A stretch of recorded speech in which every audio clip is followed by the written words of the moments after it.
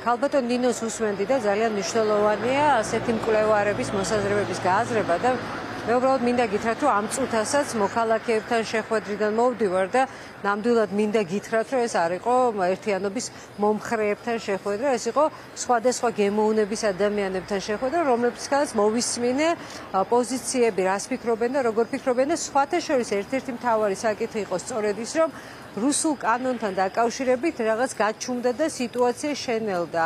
და ის ძალიან მოეწონათ, რომ დღეს ჩვენ სარჩელი შევიტანეთ და მე მინდა ყველა ჩემ კოლეგას უთხრა მადლობა, იმიტომ რომ როდესაც გავუზიარე ჩემი იდეა, რომ ჩვენ აუცილებლად უნდა შევიტანოთ ეს სარჩელი და მე მზად ვიყავი რომ მემუშაო ამ საკითხებზე.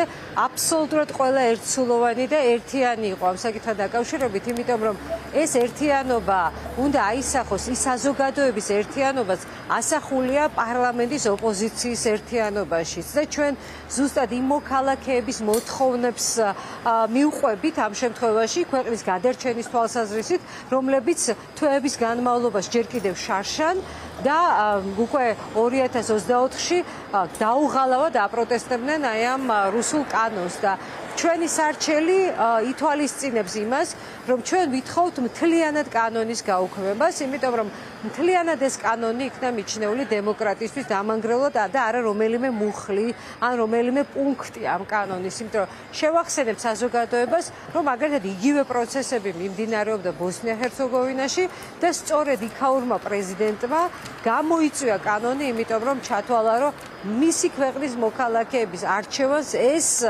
აფერხებდა. თუმცა არც იქაური ხელისუფლებაა დემოკრატიული, მაგრამ საბოლოო ჯამში მათ შეისმინეს მოქალაქეების არჩევანი ჩვენი ხელისუფლებისგან განსხვავებით. ეხლა მე მინდა მცირების რაღაცა განმარტება გავაკეთო სარჩელთან დაკავშირებით გააზრებულად, იმიტომ რომ ირაკლი კობახიძემ საქართველოს პრეზიდენტის არჩევთან დაკავშირებით თქვა, რომ 78 მუხთან დაკავშირებით და მოგეხსენებათ ეს 78 უმხლი არ არის ადამიანის უფლებების ნაწილი.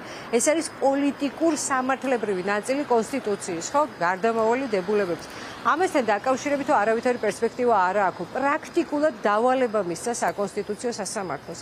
მაგრამ მე მინდა გითხრათ, რომ ჩვენი სარჩელი პოლიტიკურ სამართლებრივად არის დასაბუთებული და აი ეს მინდა აუხსნა ჩვენს მაყურებელს. რატომ არის ეს სამართლებრივი დარღვევაც ამ კანონის მიღება? იმიტომ რომ აი ეს სიტყვა პოლიტიკური რაღაცა ისეთი სალანძღავი სიტყვა გახდა და ასე შემდეგ, მაგრამ არა ნებისმიერი კანონი ვიცით, რომ პოლიტიკურ სამართლებრივი გადაწყვეტილებაა და სამართლებრივად რატომ აკეთებს ამას ახსნით რამდენიმე სიტყვა. პირველი კავშირის სადამფუძნებლო დოკუმენტები, რომლებიც დემოკრატიულ სახელმწიფოების გაერთიანებას გულისხმობს, გულისხმობს თანასწორობას, გაერთიანებების თავისუფლებას, გამოხატვის თავისუფლებას. ეს პრინციპებია და ეს სამართლებრივი დოკუმენტებია და ჩვენ გვინდა იმ კავშირის წევრობა, სადაც ეს სამართლებრივად გაფორმებულია. ეს ერთი. მეორე, ევროკავშირთან გაფორმებული ასოცირების შეთანხმება არის საქართველოს სუვერენული სახელმწიფოს გადაწყვეტილება, რომ შეასრულოს ეს 27 სახელმწიფოსთან გაფორმებული შეთანხმება, რომელსაც ეს კანონი არღვევს. ამაზე მეტი სამართლებრივი დასაბუთება რა უნდა გქონდეს? პირდაპირ სამართლებრივი კავშირია და კონსტიტუციაში კიდევ გვიწერია, რომ ჩვენ ყველა ღონე უნდა ვიხმაროთ იმისათვის, რომ გავხდეთ ევროკავშირის წევრი. ქალბატონ თამარ, ალბათ ხმარობს იმისათვის, რომ ეს დაარღვიოს. ალბათ ერთ ერთ-ერთი მთავარი დოკუმენტი, რომელიც ამ სამართლებრივ დასაბუთებაში თქვენი მხრიდან იქნება გამოყენებული, ეს არის ევროპული საბჭოს, ანუ ქვეყნების ხელმძღვანელი პირების მიერ მიღებული გადაწყვეტილება შეჩერება. ეს უკვე მტკიცებული. ამაზე ილაპარაკა სხვათა შორის ევროკავშირის ელჩის მოვალეობის შემსრულებელმა დღესაც ხაზგასმით ძალიან, იმიტომ რომ ეთქვა ძალიან უჭირთ ამ მესიჯის მიტანა ხელისუფლებამდე საგარეო საქმე და სამი. ქალბატონ თამარ, რაც თქვენ თქვით მათ შორის რაც თქვი ბატონო გიორგი, ეს იყო სამართლებრივი საფუძვლები და თქვენ რაც ვზადეთ ეხლა ეხლა. პოლიტიკურზე ხო ეს არის კუმულაციური. კი ბატონო მე მინდა რომ პოლიტიკურ ნაწილზე გადავიდე იმიტომ რომ სამწუხაროდ ჩვენთან ხელისუფლების დანაწილების პრინციპი და სასამართლოების დამოუკიდებლობა კითხვის ნიშნის ქვეშაც აღარ ადგას დიდი ძახილის ნიშანი კიდია და მოლოდინი იმის რომ საკონსტიტუციო სასამართლო სამართლებრივად სწორ გადაწყვეტილებას გამოიტანს სამწუხაროდ დიდი ეჭვებით არის ასე თქვათ მოცული. მაგრამ თქვენ დღეს მაინც დილით მე გისმენთ პირდაპირ ეთერში თქვით რომ დიდი იმედი გაქვთ რომ საკონსტიტუციო სასამართლოს შესაბამისი ჯგუფი მიიღებს ამ გადაწყვეტილებას. ეს ოპტიმიზმი საიდან გამომდინარეობს? კი ბატონო. აა მე მჯერა ადამიანების კეთილგონიერების და უკანასკნელ მომენტამდე ვთვლი რომ ყველას უნდა გქონდეს შესაძლებლობა მიიღოს სწორი გადაწყვეტილება. მე არ მგონია რომ საკონსტიტუციო სასამართლოს რომელიმე მოსამართლეს საკონსტიტუციოს ვლაპარაკობ კონსტიტუციის დამრღვევის სახელით სურდეს ცხოვრება და თავისი ასე ვთქვათ პროფესიული კარიერის ასე დასრულება. მე მჯერა ადამიანების. ეს ერთი. მეორე როდესაც ჩვენ პარლამენტის წევრები შევთანხმდით და საუბრობთ იმაზე რომ ეს სარჩელი არის ჩვენი მხრიდან კონსტიტუციის დაცვა რა თქმა უნდა იმიტომ რომ ჩვენ ვართ სუბიექტები საკონსტიტუციო სასამართლოს მოსამართლეებიც არიან საკონსტიტუციის სუბიექტები და მათაც ევალებათ კონსტიტუციის დაცვა აი ეს ბევრი გარემოება და არ ამგონია მერაბტურავას უნდადეს ლევან მურუსიძის სახელით სიარული მიუხედავად მისი დღევანდელი კომენტარისა. ასევე არ ამგონია არ შეხედონ ვითარებას, რას გამოიწვევს ამ კანონის ამოქმედებას 3 სექტემბერს. ამიტომ მე იმედი მაქვს, რომ ისინი ჩანიშნავენ 3 სექტემბრამდე ზეპირ მოსმენას და მოგცემენ შესაძლებლობას გარდა სარჩელში მითითებული სამართლებრივი და ფაქტობრივი მტკიცებულებებისა, კიდევ ზეპირად წარმოადგენოთ ჩვენი არგუმენტები და რატომ.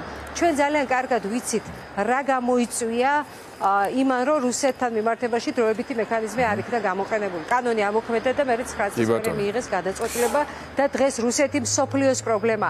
ჩვენ შემთხვევაში ბატონო გიორგი ეს რას გამოიწვევს? თუ არ გააჩერებენ კანონის მოქმედებას. პირველი, ორგანიზაცია და მედია საშუალებები, თქვენი კოლეგები, რომლებიც არ დარეგისტრირდებიან, მათ უკვე ექნებათ სახელი კანონდარღვევის. ამას ხელისუფლება უზრუნველყოფს თავისი დეзинფორმაციით.